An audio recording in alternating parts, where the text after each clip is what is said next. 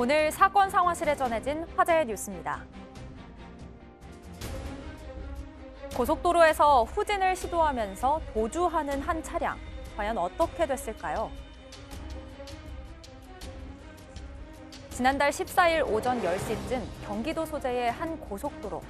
경찰차가 도주하는 차량을 앞질러 차로를 가로막습니다. 앞이 막히자 운전자는 차량을 후진해 도주를 이어가려는데요. 바로 그 순간 그대로 지나가지 않고 길목을 막아버리는 시민. 도주 차량은 이러지도 저러지도 못한 채 결국 붙잡히고 맙니다. 알고 보니 이 차량은 절도 수배를 받고 도주 중이었는데요. 운전자는 무면허 운전에 심지어 동승자까지 태우고 있던 상황. 경찰은 운전자를 도로교통법 위반 혐의로 체포했습니다. 경쾌한 발걸음으로 혼자 어디론가 뛰어가는 6살 꼬마. 어디에 가는 걸까요? 지난 7일 서울 용산구의 한 거리. 한 꼬마가 신이 나는지 발을 구르며 뛰어갑니다. 지하철역에 도착한 꼬마는 개찰구를 지나 승강장에 다다르는데요. 네 개의 정거장을 지나 찾아온 곳은 바로 대형마트 장난감 매장. 꼬마는 여기저기 기웃거리며 정신없이 장난감을 고르는데요. 한편 같은 시간 6살 아들이 없어졌다는 외국인 부부의 신고가 관할 파출소에 접수됐습니다. 다행히 꼬마는 이들 부부가 찾고 있던 아이로 확인됐는데요. 엄마와 딱 한 번 갔던 길이라는데 그 길을 기억하고 혼자 찾아간 거라고 합니다. 극단적 선택을 한 아파트 경비원 고 최희석 씨를 폭행한 혐의를 받는 입주민이 구속 갈림길에 섰습니다. 오늘 구속 전 신문을 마치고 나와 취재진의 질문에 아무 말도 하지 않은 채 경찰 호송 차량에 탑승한 입주민. 이에 최 씨의 형은 입주민을 향해 동생을 살려내라고 항의했는데요. 앞서 입주민은 지난달 21일 이중주차 문제로 경기원 최 씨를 폭행하고 사직을 강요한 혐의로 입건됐습니다. 최 씨는 이런 피해를 견디지 못하고 지난 10일 극단적 선택을 했는데요. 입주민에 대한 구속 여부는 이르면 오늘 오후 늦게 나올 전망입니다. 미성년자 성폭행 혐의로 구속된 올림픽 은메달리스트 왕기춘 씨의 구체적인 혐의가 드러났습니다.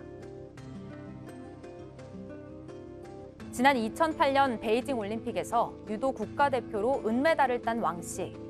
미성년자 성폭행 혐의를 받아 대한유도회에서 영구 제명된 데 이어 어제 구속 기소됐는데요. 왕 씨는 자신이 운영하는 체육관에 다니는 10대 제자를 성폭행하고 또 다른 10대 제자를 성폭행하려다 미수에 그친 혐의를 받고 있습니다.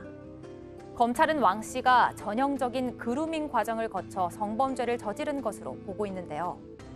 국가대표였던 왕 씨는 앞으로 구속 상태에서 재판을 받게 됩니다.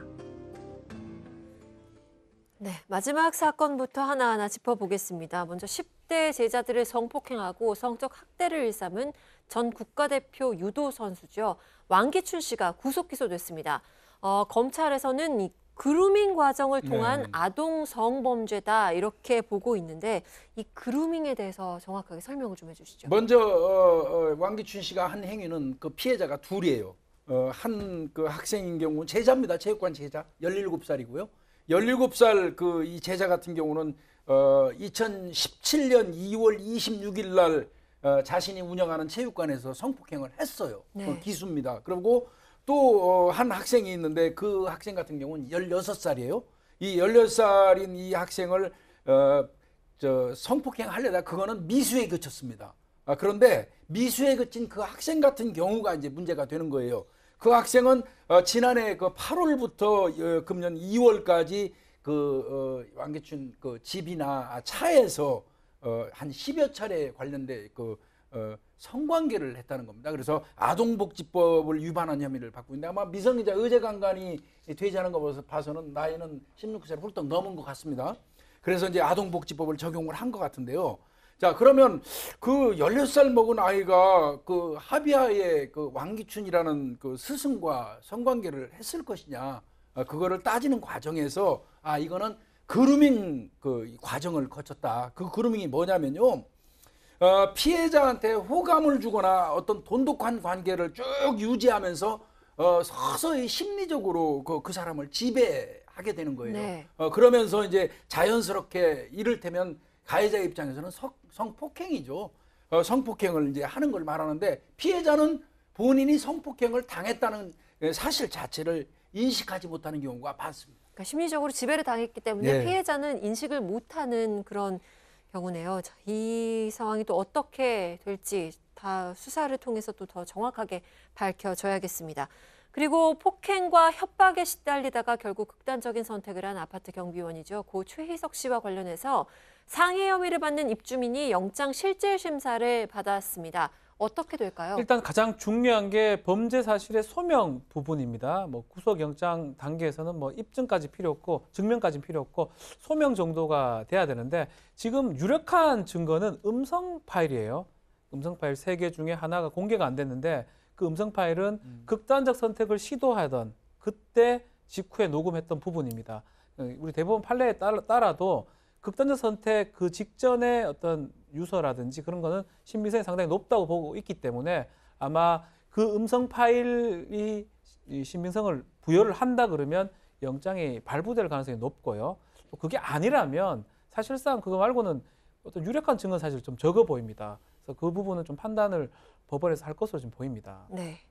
아, 그리고 이 어린이의 걸음걸이로만 봤을 때는 저희 우편실로 택배 찾으러 가는 제 걸음걸이랑 좀 비슷했어요. 굉장히 신이 나 보였는데, 어, 저는 그래서 뭐 좋은 일인가 했는데 어머니, 부모님의 입장에서 얼마나 마음이 철렁했을까 싶습니다. 혼자 이렇게 지하철도 타고 걸어서 대형마트 장난감 매장에 간 여섯 살 남자아이의 이야기인데요. 네. 어떻게 혼자 이렇게 갔을까요? 아이는 계속 신이 났죠. 저기를 엄마하고 딱 한 번 가본 대형마트라고 합니다. 근데 그거를 기억을 해내서 찾아간 건데 문제는요. 엄마가 이 아이가 실종됐다고 신고한 시간이 저녁 8시였어요. 네. 아이가 안 보이니까 그때부터 찾기 시작했고 경찰에서 깊이 이 수색을 주변 CCTV까지 다 뒤졌는데 못 찾았던 겁니다. 그렇게 한 시간을 뒤지고 있었고 또 더군다나 이게 외국 국적 아이다 보니까 이게 뭐 더 찾기가 더 어렵고 눈에는 띄겠지만 아이가 한국말이 서툴 수도 있고 또 아이 한국 지리를 모를 수도 있고 여러 가지 문제점이 예상이 되는 상황이었잖아요. 근데 마침 대형마트 쪽에서 여기 또 외국인 아이를 하나 보호하고 있다는 신고가 경찰에 네. 접수가 된 거예요. 그래서 찾아가 봤더니 지는 신나서 놀고 있었던 겁니다. 장난감 가지고.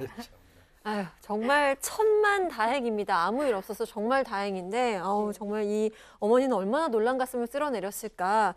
이 아이가 혼이 났을지 아니면 오히려 엄마가 안도를 해서 이 아이도 안심을 시켰을지도 좀 궁금해지네요.